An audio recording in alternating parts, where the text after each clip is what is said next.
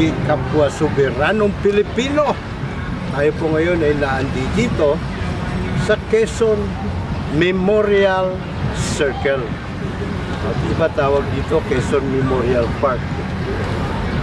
Makasaysayan po ang lugar na ito sapagkat yung matatandaan ang pamusong pamusong uh, sangkusing kaisipan ni noon ay ah, Pangulong Manuel. Quezon anya mas gugustuhin ko pa ang isang Pilipinas na pinatakbo, pinatatakbo ng mga impyerno nating mga Pilipino kaysa sa isang Pilipinas na pinatatakbo ng animoy langit ng mga Amerikano. Juror ka, juror siya, juror ako, juror tayo. Palakasan na hindi uso sa bayan ko.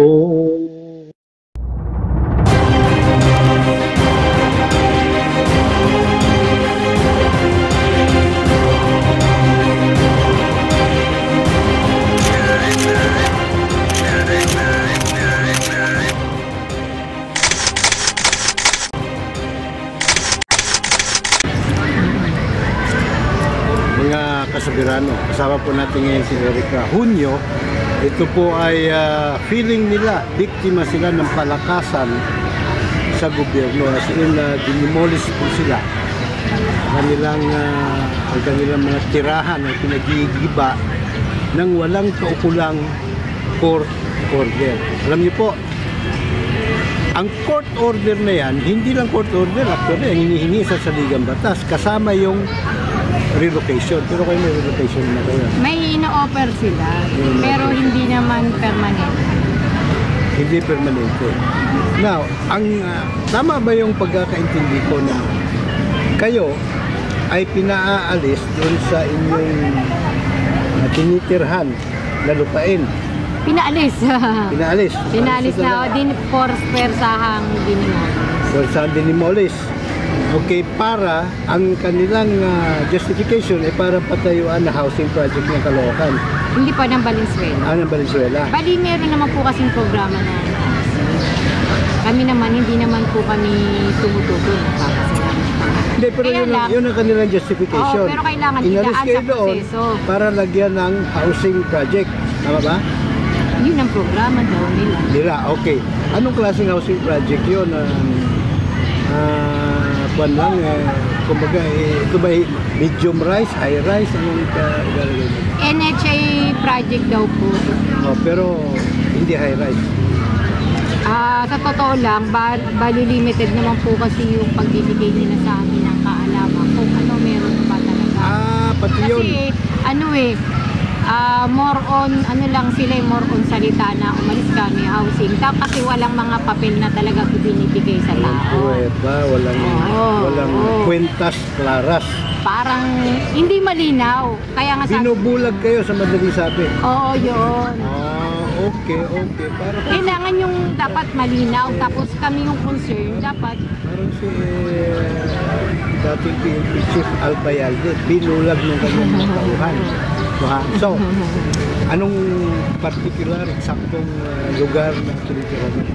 Ano po yan? Nasa Tampoy 2 Telecom Compound, Barangay Marulas, Valenzuela.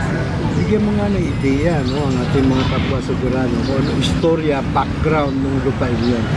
Eh, yan po eh, nasa, ano yan, nasa Telecom Compound, DITC na po yung parang nagmamayari ng lupa. Oo, yan yung pinamumunuan ngayon, Secretary uh, Gringo Oo, Honasan. oo, Okay. Department of Telecommunications siya.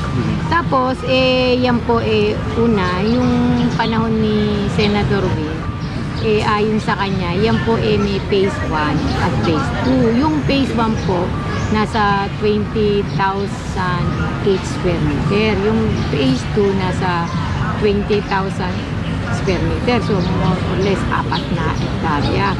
May housing po iyan, kasi ang title po niyan is Republic of the Philippines. May Proclamation 770 na sinasabi na yung sa mga bona fide act occupants yung magiging beneficiary.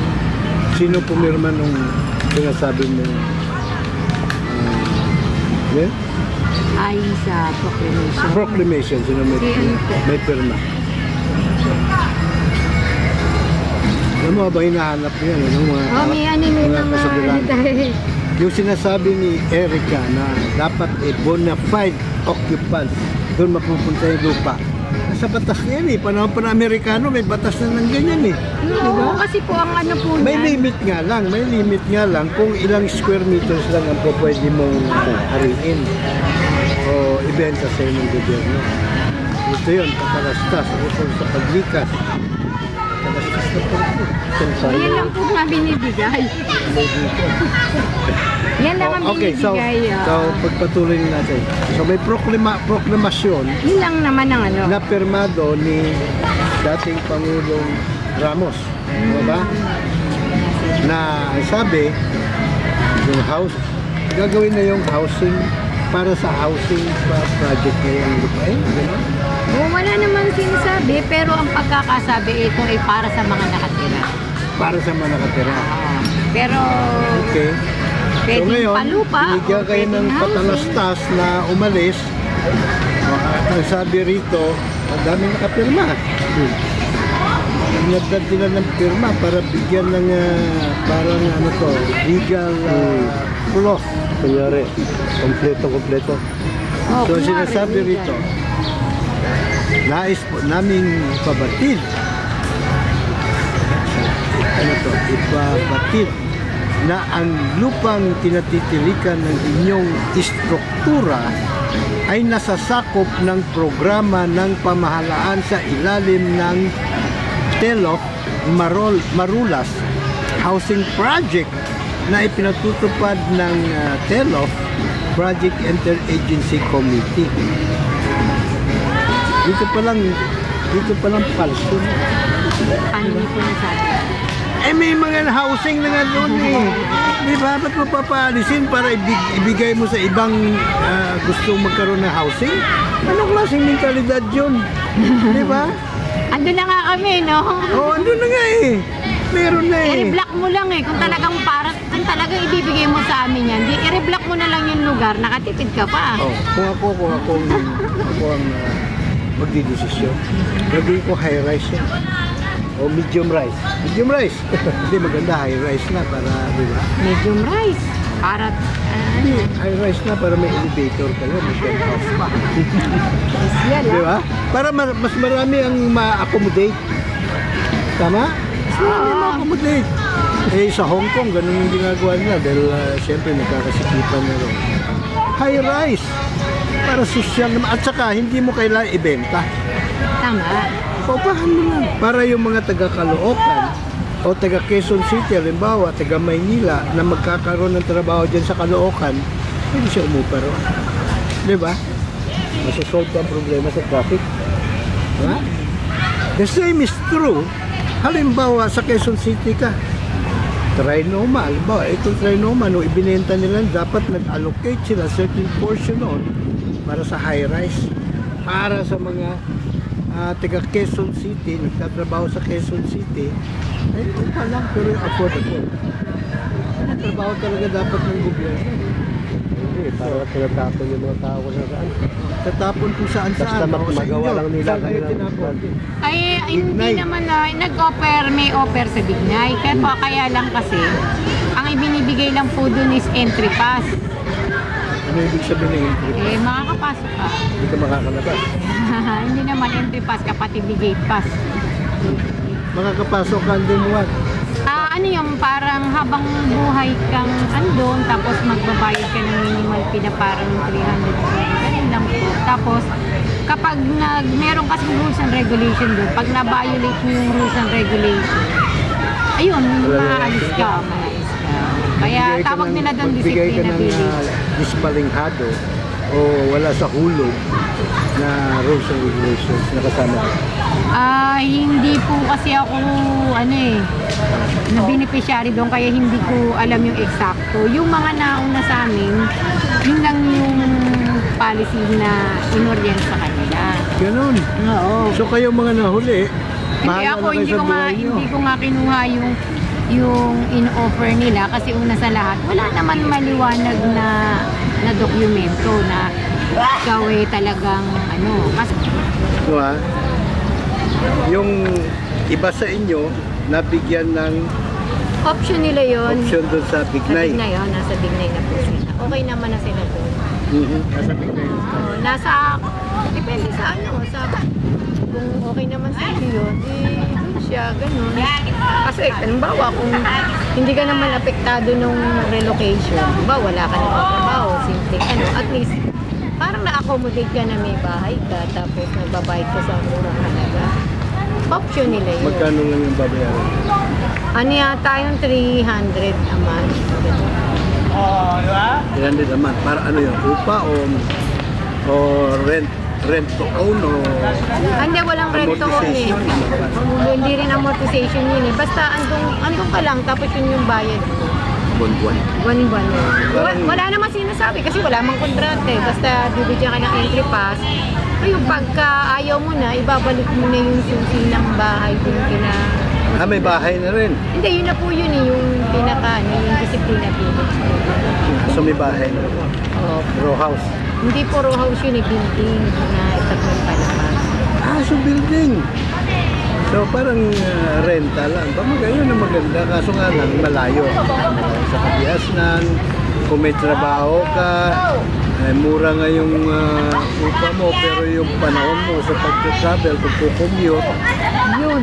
ah, ang matindi. And then, syempre, pamasahe mo, gastos mo, plus yung um, nalalagay pa sa pang panganib ang buhay mo layo ng Tama po yung... na ng tralala, di ba? Yung... yung Agam-aga ano, mo, kaba habang Kasi dalawa tatlong oras ka, tapos lalo ngayon sobrang traffic sa EDSA. Eh, paano ka na? Halos di ka na matutulog. Hindi Yeah. mo naman pwede sabihin sa boss mo na, Boss, traffic eh. Boss, ang layo ko eh. Sabihin ni boss mo, problema mo na yun. Binigyan ka na nga ng trabaho, nagrereklamo ka pa. Okay, so, ako, hindi ko, kahit na hindi pa sinasabi, duda na ako rin. eh. Ah, alam mo, ako may sixth uh, sense ako eh.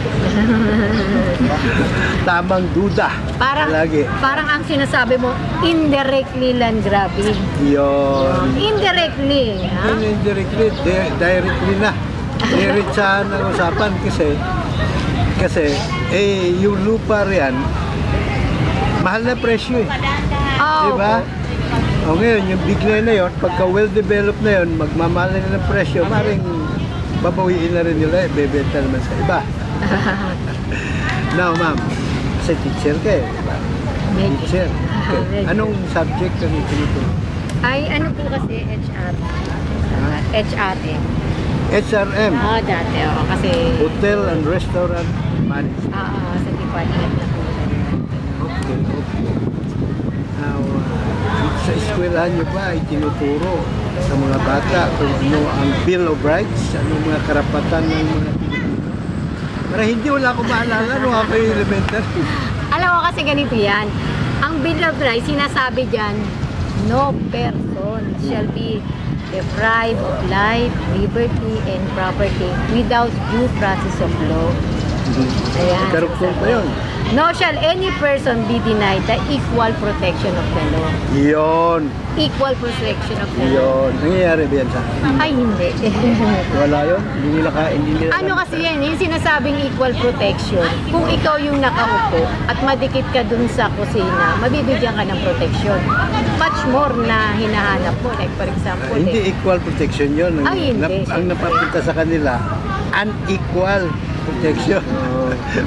More than equal protection. Yan, di ba? eh di ba kaya nga maraming mga tao na kapag tatakbo yung isang politiko, Dumidikit. dumidikit, Sino nagbo-volunteer sila doon. mo yung katabi mo? hindi, siya yung maprinsip yung tao niyan. Ah. At sinasabi na, tsaka hindi presidente yun, imposible ka pa rin makadikit sa presidente. Hindi, yung iba lang sa naman, mga ah. barangay, tsaka In, mayor. in, uh, mean, in reality, marami ang gustong dumikit. Pero wala rin na bandang uh, huli, sumasama lalo sila. Hindi naman sila napapansin. It's a puwera pa. Eh kasi yun nga yung hinahabol nila para magkaroon ka ng protection. dumikit ka sa parang mas may higher authority o may otoridad. Kasi nga, eh, anong gagawin mo kung palakasan system? Eh, di, didikit ka ngayon sa malakas. Ito namang si, si malakas, nagpapalakas, tinitira naman niya yung mahina. Para lalo siya malakas. Tama. At magkaroon siya ng ano, ng... Dracula, no? Sinisip yung dugo ng mga Para magkaroon siya na ng authority. Parang linda. Oo, pag authority and power, panalo ka na. Parang Oo. ganun, ah. Bigyan natin ng uh, kasi ngayon, hindi ba itatanggihan, marami ang mga marami ang sumusuporta din kay Pangulong. Hmm. In fact, ang bumoto sa kanya ay 16 million. 16 million ha? Pero ilan yung hindi bumoto sa kanya? Hindi ko alam eh. Kasi yung, yung mga statistic na yan, hindi naman natin alam yung totoong figure. Minsan kasi na-influensyahan lang din yun ng, ng media. Hindi, eh, resulta ng eleksyon yun eh. So walang influensya media doon. Hindi, ibig sabihin, minsan, hindi naman natin masasabing totally talaga. But anyway, Na-influensya ng nananalo na Hocus eh. Picos. Ah, nanalo Pero na. hindi, pero ah, matter of fact na naman ito. Oo, oo, oo. 16 million ang bumoto kay Pangulong Duterte. Ang kabuang botante na rehistrado 64.4 million. Diba? So, kung tutusin mo, mas marami na hindi amak ang bumoto. Pero my point is this. Yung 16 million na yon, hindi mo hindi po pwedeng bigyan lahat ng trabaho ni Pangulong Duterte. Kasi kulang yung pwesto sa gobyerno pag binigyan niya lahat yon, di ba? So magkakaroon ngayon ng palakasan. Kaya marami ang mga sumasama loob dahil nakita nila yung ibang uh, nagsusulong ng federalismo, may pondo, yung iba wala. di ba? Tulong na tulong. Oh. Kami, alam mo, alam mo, kami sa JLG na Fulcom Press Club, naging biktima kami riyan eh. Bakit kamo? May isang taga-gobyerno din, kasama yung uh, grupo niya, Bakit kamo? Sa JLG na Fulcom Press Club, bakit kamo? Umiwan yung isang daang milyon na pondo yung uh, JLG eh, para itulak yung federalismo. Siyempre kasi DILG, sakop niya yung mga mayor, mga elected mayor. Sakop. Oo, si Ang DILG. actually, sila ay kung ano, minsan na masyado lang masyado lang uh, na pinalalaki ng gusto yung kanilang papel. Pero actually, sila ay support services. Hindi pa pwede sasakupin nila yung mga mayor sapagkat yung mga mayor elected eh. Sila yung appointed lang sila. So, yun nga eh. Actually, nagsumulat din kami kay ano yan eh, kay Secretary Ano, para magkaroon lang ng konting ano, intervention ba Tungkol saan? tungkol dito sa naging problema namin kay kay Mayor Rex Gatchalian na, di ba, kinukuha niya nga yung lupa dahil may housing. So ano na yan? Eh, in- dead ma doodles eh. Dead ma si Secretary Anyo eh, si Undersecretary, ito, dead ma eh. inside story ito ah. Ah, Kasi yung DILG, lahat ng reklamo pumupunta, na, na pumupunta dyan, may isang tao may hawak. So halimbawa, ano yung barangay nyo? um, Marulas, Okay, barangay Mar- Marulas, halimbawa. Ikaw, nireklamo nyo halimbawa si barangay chairman nyo. Sabihin lang natin yung ganun. Ngayon, pag nireklamo mo si barangay chairman, eh, magpapadala ka ng sulat na ng complaint letter doon sa DILG, tama? Gagawin ng DILG, yung tao nila doon, lalagyan ng marginal note. Ibabalik doon kay barangay chairman. ito maganda, ito maganda eh. Um, ang tao, nireklamo niya yung barangay chairman niya sa Presidential Action Center. PAC. Pagdating sa Presidential Action Center, nilagyan ng marginal note, pinadala ng kopya yung nagreklamo na in-endorse doon sa DNI. Ha?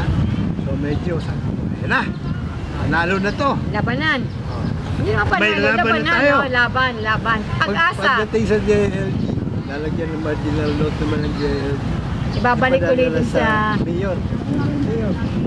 Mayor. Pagdating sa mayor, Ngayon, nadala ko nilang lalagyan ng marginal doon. Nadala doon sa Marquis. Sabi ko parang merry-go round lang ito, naglulukuhan lang tayo. Ako, biktima din ako niyan kasi sabi ka mo. Eh, kasi sis, may reklamo ako. Padala ako sumunod ko.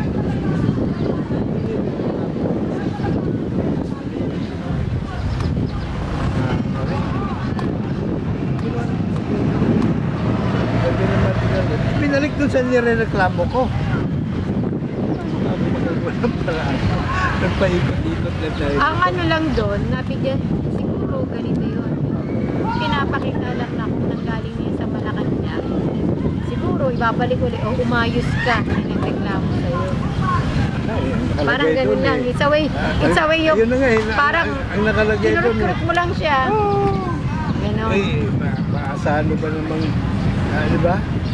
Gaya na napag, ah, napagkwentuhan namin kanina bago kayo dumating. Ni ah, Jobert Spinido, Spinido, pinadala sa Bacolod sa amin, pinadala sa Bacolod at tinutusan nito Tetri na patayin mo na sila lahat yan. you are free, you are kill, free to kill everybody there. Ah, di ba? Para sa si James Bond, 007, meron siyang license to kill. Anyway, Kasabi ni Espinido doon sa kanyang interview, mabuti ngayon si Tatay Digo, inaalagaan niya yung mga pulis. Hindi katulad noon, na yung mga pulis, na sila na ang uh, nagsasakripisyo, ginagampanan nila ang trabaho nila. Sila pa nagdidemanda. Eh wala naman silang pambayad sa abogado. Di ba? Pero meron naman silang ano, ah, matawag dito yung parang sa hepe, di ba may protection naman sila sa hepe nila. Okay. Operation. Na, sa Amerika, hindi uso yung ganyan. Yun, oh. Bakit naman? Ito, pulis, eh, binanatan ng mga harassment case. Pinaratangan na ito. Merong grand jury na sumusuri sa probable cause. Iyan ang magtatanggol sa kanila. Pag nakita nila na ito, wala ito, kung lang ito, harassment case lang ito, ibabasura agad yan. Tsaka walang palakasan. Walang palakasan. Kasi si Oh, jury yan eh. si Trump. Si Trump ha, nakailang taon pa lang si Trump sa pwesto. Kasi taon, di ba? Tapos magkasabay rin sila ni Pangulong Digong 2016 yung nag-election sa kanila eh. Pero November, sa atin Mayo. Ngayon, wala pang dalawang taon, alam niyo ba na huwalo na sa mga bata ni Trump ang nakulong dahil sa corruption? Tama. At isusunod na si Trump. Dahil uh, may impeach na siya eh. Oh, yun nga yung sinasabi natin na sa Bill of Rights, sinusulong natin yung equal protection and rights ng mga tao. Whether nasa posisyon ka o ikaw na yung pinakamababang tao sa lipunan, meron kang pagkakataon na, na ano na ano na patas. Sige, Professor, paliwanag mo. Paano mangyayari? Yun nga Kasi, kasi, kasi dito sa atin, ah, sa ating uh, Bill of Rights, sinabi mo na lang yan, di ba? Equal justice for all, nobody shall be deprived of life, liberty, property without the due process of law. And um, nor shall anybody be denied equal protection of laws. Di ba? Eh bakit di nangyayari sa atin? Kasi nga dito sa atin, kapag wala kang authority, wala kang pera, you are nobody. Kasi sa totoo lang, wala namang sumusulong ng Bill of Rights natin. Kasi sino ang magsusulong? Eh, yung mismo nakaupo ang nangungurap, ba't niya isusulong? Laws law. O, di ba? Laws. Kaya nga ang nangyayari, ah, ang ginagawa ng iba, nak- nakikipag-influensya sa media. Para pag may media, maganda yung mga ginagawa niya. Pero hindi nakikita yung masamang ginagawa. Puro, ma- puro magaganda lang. O ay, ikalawa, o may karapatan ka nga, may pera ka ba? Hindi mo may pati may susulong ang karapatan mo kung wala kang pera. Kasi kung pupunta ka sa Sapaw, Public Attorney's Office, very hesitant sila na ipaglaban ka kasi ang kalaban mo rin gobyerno. tutulong sa lahat ng pagkakataon. Halimbawa, bata ka ni Tatay Digong. Ah. Oh, kahit wala kang pera, ka- may, may lakas ka, di ba? May impluensya. Impluensya ka, Oo, oo. may impluensya. Ang sinasabi natin, impluensya. Iba naman yung may pera ka. Kamukha Ah. ni Secretary General yun ng Bongo for uh, Ah, saka yan. Sara Duterte for President. Yeah. Oh, di ba? Eh, pag nanalo si Sara, malakas siya, untouchable siya. Ah, hindi naman sa Paano ganon. Hindi naman sa ganon. Hindi sa ganon. Hindi, pero pwedeng mangyari yun. Posibleng mangyari, di ba? Kung Kung, gugustuhin. hindi, kung personally, kilala ka ni Sarah, eh kung hindi ka naman kilala Hindi ko pa makilala personally. ni Sara. Kung sir, di pa kami nag-limit. Oo. Namit ko lang sa Facebook yung ano. Facebook ko lang sir. Ano? Gusto mo, nakalive tayo sa ano? Mundo, eh. Oh, Mayor Sara, oh, ang iyong uh, secretary. Ah. Oh. Kasi kami, ako, naniniwala din ako kay kay Madam Sara. Oh, bigla ka ngayon naniniwala. Hindi, sa kanya, pero hindi ako naniniwala sa sistema ng, O, tingnan, ng, ng justice, di ba? Pagpatuloy mo yun. So, ano ang, alam mo na yung problema, di ba? Hindi kasi Ano based on yung- my experience ah, sinasabi ko yung experience ko. Okay. Hindi ko pinapakialaman yung experience ng iba. Okay. Di ba? Kasi hindi ko naman limited knowledge ako doon. Doon ako sa sarili ko. Doon sa na-experience ko, na kung wala kang pera, talagang hindi mo may paglalaban yung karapatan mo kahit tama ka. Like for example, o di ba, sabi mo nga kanina, dinamolis kami ng walang court order, walang demolition permit. O, eh kung may pera ako, di kukuha ko ng magaling na abogado, mailalaban ko sa husgado yan. Eh, yung, Kukuha ako ng temporary restraining order. eh, yung judge, nababayaran. Okay, ganito. Sabihin natin nababayaran si judge. Pwede hindi, pwedeng oo. Kasi mahirap natin i-judge si judge eh. Hindi, pangkaraniwang nangyayari po yan. Oo, Kaya totoo. may tinutumba ng mga judge. Totoo yun, pero hindi natin pwedeng sabihin lahat, di ba? Kasi unfair naman yun sa ibang judge. Pero mas maganda itong gagawin natin ngayon, itong trial by jury, at saka yung mga grand jurors na ito. Kasi ito yung makakatulong sa atin Doon nga natin pagdating sa husgado. O tama po, kaya nga natin ako naniniwala ako din sa jury system kasi mahirap din i-judge si judge.